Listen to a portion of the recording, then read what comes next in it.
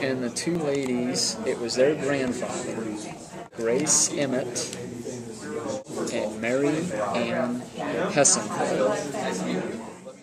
Oh, that's great. So that's the This is the and this they had framed. This is the prisoner of exchange paper, okay. and he was captured. Let me see, uh, near Corinth, Mississippi. You know they got Vicksburg on there, October 1862. And you know he signs it, he hangs on to it. Of course, the whole paragraph talks about he will not take up arms or even build uh, fortifications of any kind. I mean, do anything to contribute to the war effort until he has been formally exchanged. Right. Um, that's his signature there, and the Confederate officer's signature here. I actually don't know what I haven't sat down to study it enough to know what the name is. But that, but they had that frame, and Grace told me that it's been in the frame for quite a while. She just remembers getting it in the Okay. frame.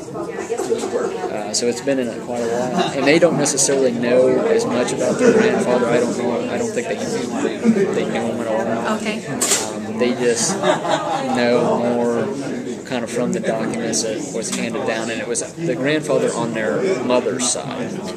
So it would have been their mother's father. And I think he just hung on to every, hung on to some stuff, handed it down to her, and got handed down to That's about as much as I know on, on the kind of the Okay. family story. Does it say what unit he was? Yeah. The 15th Iowa Okay. Regiment. Yeah, see, I couldn't remember and when I was looking at it. He's 15. Okay. And he was apparently living, I think, in Indianola. Yeah, Indianola, Iowa, when he joined, because one of the papers uh, mentions that. Um, and, and, and then it looks like he did move to Nebraska. See, I, I would like to help him out, maybe do some research on mm-hmm. this. But it says he died in, that looks like Allen, doesn't? Oh yeah. So he apparently was one of the many Union veterans. that One of the many. That's right. Uh, oh, that's great. Can we take a look at some? Yeah, this so is the, that's the pension paper. So he dies, and so of And course then she's she- trying to apply for it.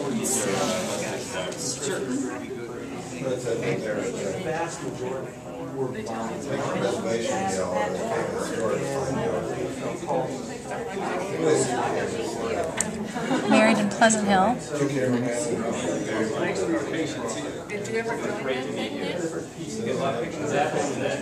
Oh, his children must have been grown Yeah.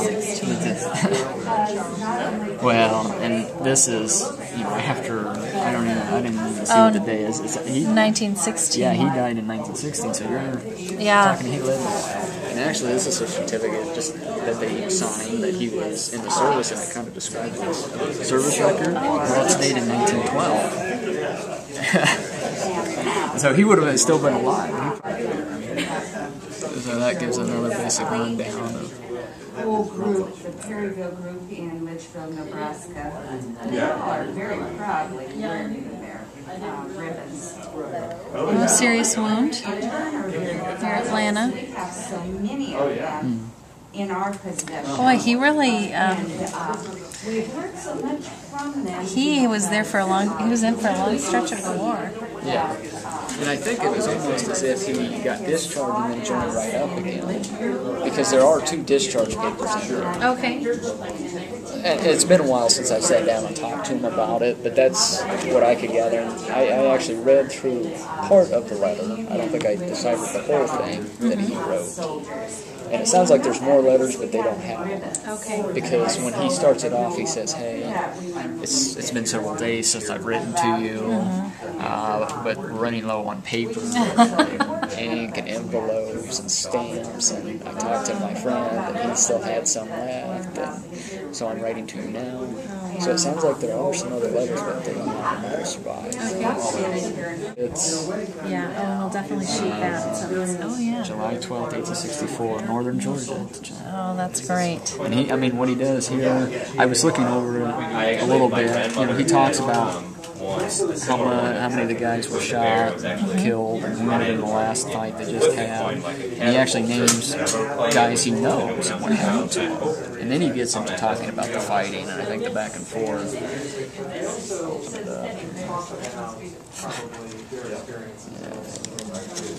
But he starts getting into talking about the fighting. I mean, it's, it's he takes up the whole letter.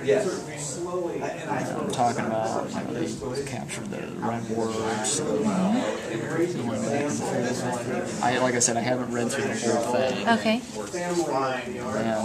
He signs it very at the bottom. Okay. And he, he doesn't sign it Samuel Roberts. He signs it with his middle name, Leonidas. And I didn't know what his middle name was until I looked Yeah. at that. Oh wow. So we don't know for sure when he moved to Nebraska, but we can, but we can be pretty sure that he did. He, he did end up in Nebraska. yeah, from what it looks like.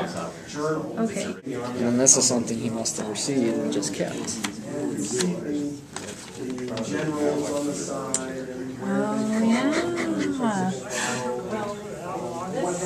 yeah. You can see obviously we've been serving in the army of General William Sherman. inscribed to him personally.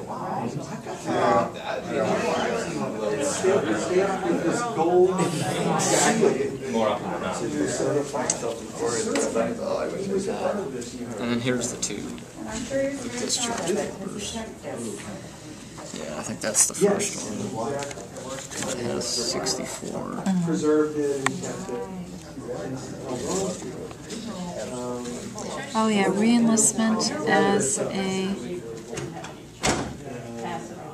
something volunteer under General